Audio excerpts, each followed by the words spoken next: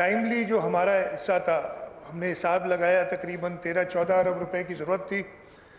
और वफाकी हुकूमत ने कहा कि हम 4.7 बिलियन एफ़ में चार अशारिया सात अरब रुपए हम आपको देंगे। बाकी सारे हमने मुख्त करके और सीड परचेज़ के लिए वफाकी हुकूमत को वो पैसे दे दिए। लेकिन वो टाइमली परचेज़ ना कर सकी। जो भी वजूहत थी उस पर नहीं जाते। हम गंदम का बीज उस वक्त नहीं दे सके।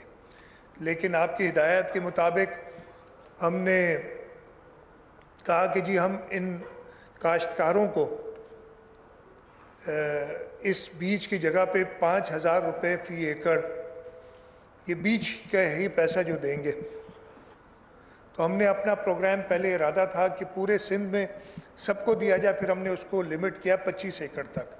और आज उस पहले फ़ेज़ में साढ़े बारह एकड़ तक के ज़मींदारों को खातेदारों को हम दे रहे हैं, लेकिन एक चीज़ इधर सारे खातेदार भी बैठे हैं, आप में से बहुत सारे खुद काश्त करते होंगे अपनी ज़मीन। छोटे खातेदार हैं, किसी की दो एकड़ है, किसी की चार एकड़ है, साढ़े बारह से एकड़ से सब कम है। ये पैसा खातेदार का नहीं है। ये सीड का पैसा काश्तकार का है, उस हारी का है वो जो ज़मीन पे, पे मेहनत करता है। अगर आप खुद काश्तकार हैं तव्हां पंहिंजा हारी पाण आहियो पोइ त इहे पैसा तव्हां जा आहिनि न त इहे पैसा तव्हांखे पंहिंजे हारीअ खे ॾियणा आहिनि पंज हज़ार रुपया फ़ी एकड़ पच्चीस एकड़ तक तो हम देंगे। इस मौके से फ़ायदा उठाते हुए अच्छा एक चीज़ मैं कंफ्यूज जहाँ तक मुझे पता है और हम मैं खुद एक जमींदार हूँ, हम तो ये प्रैक्टिस करते हैं, हम सीड के पैसे हारियों से नहीं लेते। हम खुद देते हैं, लेकिन मुझे पता है कुछ एरियाज़ में सीड के पैसे या बीज के पैसे हारी देते हैं। तो अगर किसी खातेदार को ये पाँच हज़ार रुपया फ़ी एकड़ मिल रहा है, और वो सीट के पैसे नहीं लेता हारी से मैं आपसे रिक्वेस्ट ये करूँगा, फिर भी वो पाँच हज़ार आप उस हारी को दें। इसलिए हुकूमत की तरफ़ से ये सपोर्ट हारी की है। और एक और मैं रिक्वेस्ट करने जा रहा हूँ कि जो 25 एकड़ से ज़्यादा के ज़मींदार हैं, अगर वो हारियों से बीज के पैसे लेते हैं चेयरमैन साहब से आज मैं कह रहा था कि हम लेट तो हो गए, लेकिन हारी के पास एडवांस में पैसा नहीं होता कि वो पाँच हज़ार रुपये खर्च करके और वो सीड ले।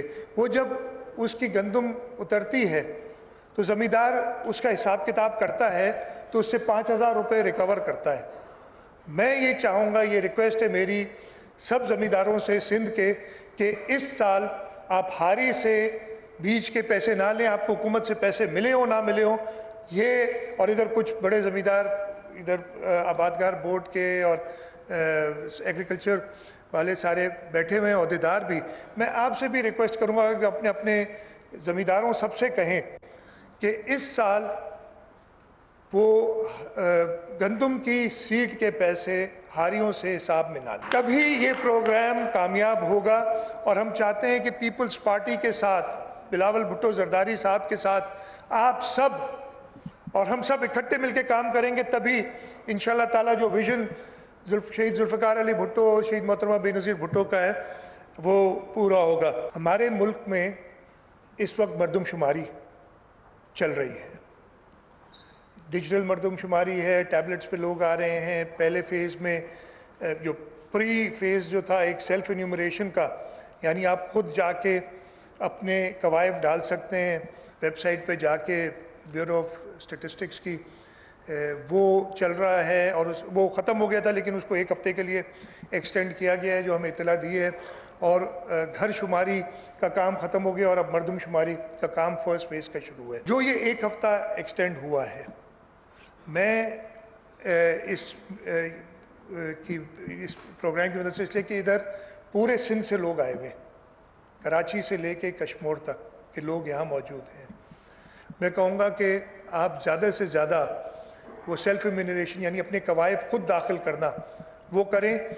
आप जो सोशल एक्टिविस्ट हैं पॉलिटिकल पार्टीज़ हैं, जो भी किसी भी जमात से ताल्लुक़ रखती हैं, वो अपने वर्कर्स को एक्टिवेट करें कि वो लोगों को जाके असिस्ट करें। आजकल ये मोबाइल फ़ोन स्मार्टफ़ोन हर गाँव में मौजूद है। वो कनेक्ट करके और लोगों की इंफॉर्मेशन दे।